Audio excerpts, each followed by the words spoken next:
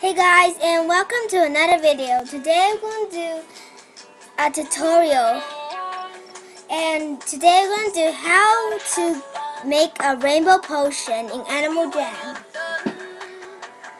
So yeah, so you see in this potion rooms, you press on that and you do the red potion for three times. And if you want to pause the video, you can to do it step by step. One, two, three.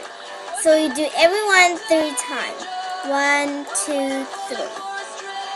One, two, three. And now do the fire part. One, two, three. And choose whatever like bottle it is. I choose that one. And then you click that. And you see three bottles working. And then you get a rainbow potion. So yeah, this is the end of the video. Not really special. So, bye.